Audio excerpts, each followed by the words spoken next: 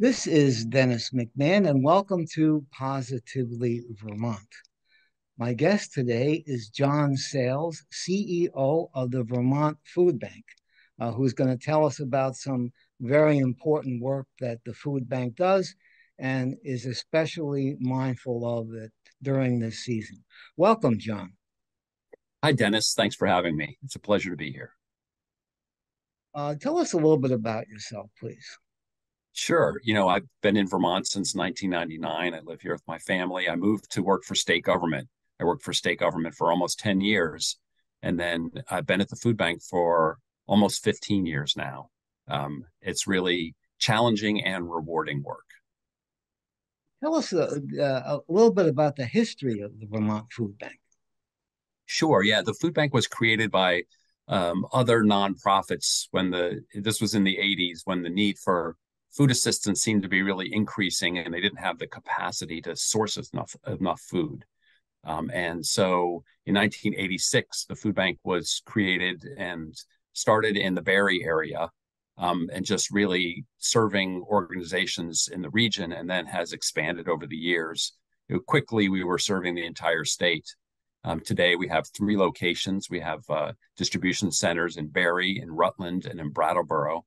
And we serve about 350 partners. Those are food shelves and meal sites, places like Feeding Chittenden, the Winooski Food Shelf, the Shelburne Food Shelf, um, and senior centers, after school programs. We have a big program with uh, the JFK School in Winooski, um, and hospitals, and just any place that's that serves food um, that is you know serves food to, to people who might not otherwise be able to afford it can partner with the Vermont Food Bank.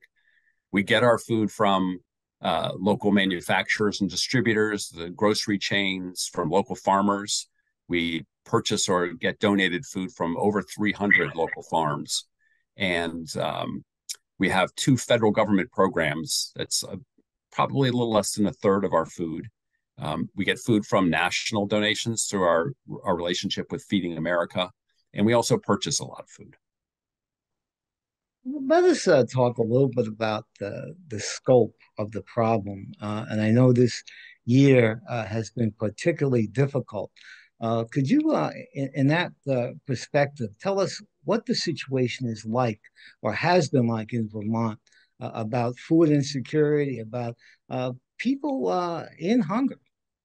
Yeah, you know, the first thing is to realize that that people who can't afford enough food, um, food insecurity, as we call it, or hunger, is really just financial insecurity, right? There's plenty of food in the grocery store um, and at local markets and farmers, you know, farmers markets and farm stands. They're just folks who, who, you know, in their budgets, um, it's a balance, right? You got to pay the rent, you've got to keep the car on the road so you can get to work, um, you got to keep oil in the oil tank, um, and sometimes there just isn't enough money at the end of the month. And we've food is the one fungible thing in your in your budget right? You can skip a meal and so your kids can eat. And we've set up this system for better or worse where there are places where people can go and get food assistance. Um, and it's very low barrier. Um, and you know everyone dennis everyone who finds themselves going to a food shelf or a meal site or one of our veggie van go distributions um, it's all it's everyone has their own personal reasons for being there. It's hard to generalize about um, why folks find themselves getting food assistance. The one thing I will say is I'm glad when people do because we want everyone in Vermont to have what they need to thrive at the food bank. And if that means needing to get some help with food to help supplement the budget for that month, then please find a place in your community where you can do that. Well, I know there's been several factors contributing to this, other than the overall need. Uh, the pandemic uh, and also the flooding we had in uh, various parts of the state uh, earlier this year. Could you tell us how that has impacted uh, on your services? Yeah, I think about that as kind of these cascading disasters. You know, um, COVID, which started in you know 2020, 2019, time just all melds together. Um, but you know it was i think back to then and and you know people were scared including me and there was there was huge, huge need. I mean, I don't know if folks, your, your viewers remember, but there were miles long lines at the state airports where big food distributions were taking place um, with the National Guard helping out. Um, and while we don't have that anymore, the the need, the number of people coming and getting food assistance is actually higher than it was during COVID. Um, so COVID went away, but there were a lot of there were a lot of assistance um, from the federal government. So there was rental assistance, there was an enhanced unemployment, um, Three Squares Vermont, which is food stamps. Um, the benefits increased during COVID. Um, there were there were all kinds of assistance programs. There was the stimulus payments. Um, all of that um, eventually started going away, and and it's all gone now. The last one was in April, where the last enhanced Three Squares Vermont payments. So families that were uh, were getting food assistance of about five hundred dollars a month. Some of them went down to, you know, fifty dollars a month. The minimum benefit is twenty three dollars a month. So there are some mostly elderly, older Vermonters who who are getting twenty three dollars a month, um, down from a couple of hundred. So a big, big, big, big difference. Um, and then on top of that, inflation hit, right? Food inflation, 20, 30%. Um, and still, while prices aren't rising as fast, they haven't gone down. Um, and then on top of all that is the flooding, um, which you know didn't impact every place in Vermont, but it was pretty broadly distributed. And the the you know people think about having your home pretty much washed away. Um, the the impact is tremendous, and we're still seeing that, and we're going to see that for years. We certainly learned that during um, Tropical Storm Irene, that recovery from a flood takes a long time and you know we've got these cascading disasters and people are finding themselves in a place where it's really difficult to make ends meet at the end of the month and i know uh, your uh, website has a lot of this information uh, and uh, i think it's very important but uh, the, the the the level of uh, the problem there's, I know you have some percentages on on that. I know it's hard to put percentages in, into real personal impact, but how how is that statistically out there right now? Yeah, about two in five people in Vermont, um, in some way, are touched by the food bank. Right, whether that's a meal at a senior center or going to one of our Veggie Van Go produce distributions or visiting a local food shelf um, getting a backpack um, or uh, going to a school pantry. Um, and it's a, it's a lot of people. Um, you're right. Um, and, you know, I think it's important to understand too that the food bank is only here because of the support from Vermonters. Um, it, it really is, truly is neighbors supporting neighbors. And we're a, an independent nonprofit and rely on on donations from folks in Vermont um, from uh, people who have second homes here, people who have lived here before, but uh, you know we get donations from all around the country, but it's mostly people from Vermont. And how is the, Vermont Food Bank tied in uh, with, with, other food banks uh, or other agencies of the government to, to assist you in, in your work? Yeah, we're part of a national network called Feeding America. There are over 200 food banks across the country that are part of the Feeding America network. Um, Feeding America supports us in a lot of ways. Um, first of all, is food. Um, we get food through national donors. Um, we can get produce really any time of the year, um, and we just have to pay for for the trucking to get it here to Vermont. Um, donated food, and also Feeding America does a lot of of public relate public affairs work. So um, working in Congress to try and make sure that things like the Three Squares Vermont benefits, the SNAP program nationally, are robust. Um, the federal food programs that the food bank runs, um, a couple acronyms, TEFAP and CSFP. Um, but again, those are part of the Farm Bill, which is um, which is being negotiated right now in Congress. And so we need to make sure that we have a voice at the table, and and Feeding America helps make that happen tell us uh, the, the level of cooperation, you know, uh, Vermont being an agricultural state, uh, the level and kinds of cooperation you have with the farmers uh, in our community. Yeah, we love our farmers here, and um, and the farmers love the food bank too. So we have about 30 farms. The food bank does gleaning, which is um, going on to the farms actually with volunteers and, and picking the crops that the farmers wouldn't otherwise take to market. Um, so we glean with about 30 farms. There are some other groups, um, Salvation Farms and um, Central Vermont Community Harvest, to name a few, that do gleaning in other parts of the state. Um, the food bank gleans in the Burlington area and in the Brattleboro area. Um, and then we purchase food from farmers, right? So I, I mentioned that the food bank purchases a lot of food, and we try and buy local um, whenever we can.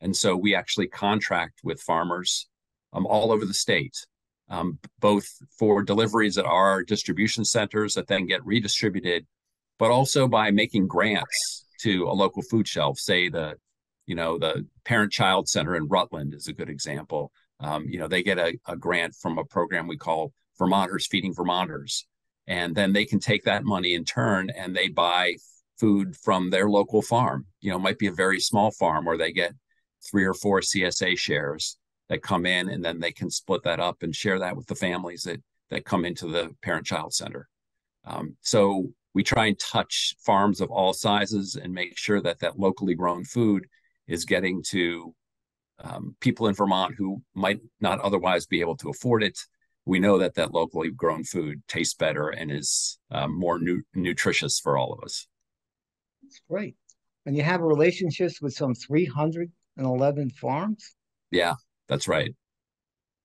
And yeah, you just think about the Intervale. You know, there's there's a number of farms right down there. We have uh, probably you know a dozen uh, relationships with farmers just in the Chittenden County area. That's amazing.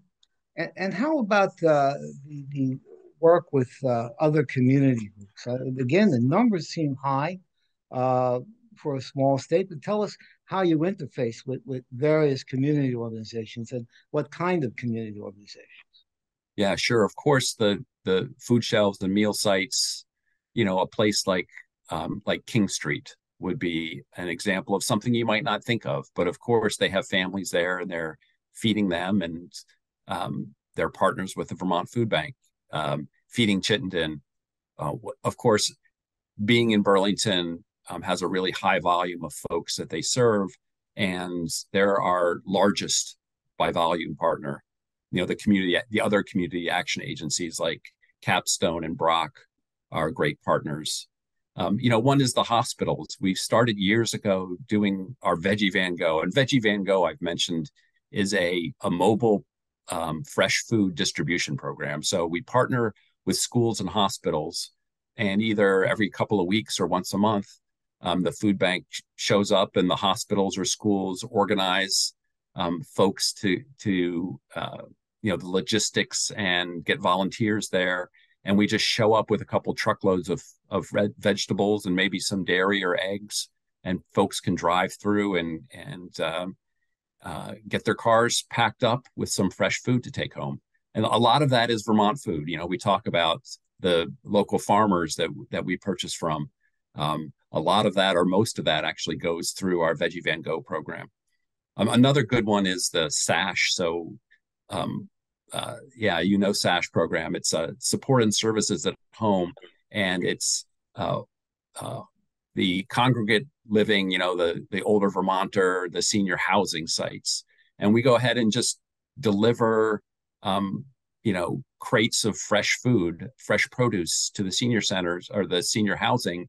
And then there's coordinators there that distribute it and to the folks there to make sure that that our older neighbors are are getting fresh food right now in addition to the old idea of food and, and distribution you have some of these innovative projects uh, the community kitchen academy and things of that nature tell us about some of those projects yeah cka which we do in partnership with capstone um, here in Barre and also with um, Feeding Chittenden is a culinary training program. And it's it's folks mostly who are unemployed or underemployed. Um, and they get a 13 week um, actually I don't think it's 13 weeks any there's a couple different variations Um, but it's a culinary training program, and they get uh, certificates of completion, um, a lot of support in finding jobs, and actually, we've got a, a over eighty percent placement rate in full time employment at the end of the program. And while people are learning culinary skills and how to cook, they're preparing meals and portions that are then distributed out through Feeding Chittenden and Capstone Community Action. So literally feeding their neighbors while they're learning job skills. Um, and the food banks out in the community in other ways too. Um, we're um, right now working in Bennington in Addison County in Northeast Kingdom doing some community organizing and figuring out how we can help lift up the the voices and the you know the power of people in local communities to to find their own solutions. Because you know, I think we all know that in Vermont in particular, there's it's very community focused, and communities want to do things in ways that work for them, and it can be different whether you're in the Northeast Kingdom or in the Bennington area or Brattleboro or Chittenden County, and so we want to work with communities so that as the food bank, we're showing up in a way that serves them and not in ways that um, you know that we decide. I know this might not be as uh, appetizing as the the concept of food and eating well and making sure there's no hunger, but there are some legislative matters uh, that are, are pending. Uh, could you describe what concerns does the Vermont Food Bank have on the federal level and on the state level uh, about possible uh, legislative action or legislative initiatives, and, and how people how can people help with that? Yeah, thank you. Um, you know, I mentioned the Farm Bill earlier at the federal level. Um, the Farm Bill is the most important piece of legislation um, having to do with food. It only comes up for uh, reauthorization every five years, and the the Farm Bill funds the SNAP program, which in Vermont is Three Squares Vermont. I mentioned TEFAP, which is a food program we get in Vermont. Um, the Commodity Supplemental Food Program, CSFP, um, WIC, there, uh, which is the um, supplemental nutrition program for uh, women, infants, and children. Um, there is so much happening in the Farm Bill, and right now, because of the uh, kind of the chaos in Congress, um, things are not moving as quickly as they need to. Now, there was a continuing resolution, so the programs aren't going to end um, within the next year, but we need to really enhance those. So you know, call our congressional delegation and let them know that it's important to you that we have a strong farm bill in Vermont. At the state level, you know, really what I'd like to do first is thank our state legislators. They've done some great things in the last few years. Um, the child tax credit that was passed, um, the state level, um, that's the kind of thing that makes a huge difference in families' lives. When we had the federal child tax credit, which was, I think, about $300 a month um, for a, child under six, uh, we saw child poverty decrease by almost half in this country. Um, 50% decrease in child poverty. And as soon as that expired, which was about nine months after it started, child poverty went back up to the level it was before. Um, so we know that it works. And we, I thank the Vermont legislature for, uh, and the governor for implementing that program. Um, and then um, the universal school meals, which just was passed in the last two years. Again, it is a a way to make sure that our children are getting fed, um, and uh, it's uh, it's going to be very impactful in Vermont. So I'm I'm very happy about that. Um, this year, the the Vermont Food Bank is actually asking the legislature for uh, five million dollars in in funding. Um, and that will go directly to purchasing food. Um, and a lot of that food will be from Vermont farmers. I said, you know, we purchase from over 300 Vermont farms and also grants to our local partners to the food shelf in your community. Um, last year, we granted about uh, one point, uh, I think it was about 1.2, or no, I'm sorry, about 2.4 million dollars in grants to local food uh, food shelves and meal sites around the state um, because um, they have needs too that aren't always filled by food. Um, and so we would ask folks to, um, you know, look at our website. You can see different ways you can support us. And when you talk to your local legislators, just let them know that that the work the food bank does is important to you, and that making sure everyone in your community has enough food to eat is important to you. That's great. Now, how, how can individuals, I know we, we have volunteer opportunities and, and some of the legislative, uh, maybe letters to the editor and things like that. But what about finances? Uh, how can people help if they're so inclined to help financially? Yeah, as I said, um, we are a, independent nonprofit, and we really do rely on on people making donations to um, to do the work that we're able to do and and to everyone who does donate and there are a lot of people in vermont that do i say thank you. Um, to those who want to find out how you can help um, the best way is to go to our website which is vtfoodbank.org um, and you can just click on give it's right there.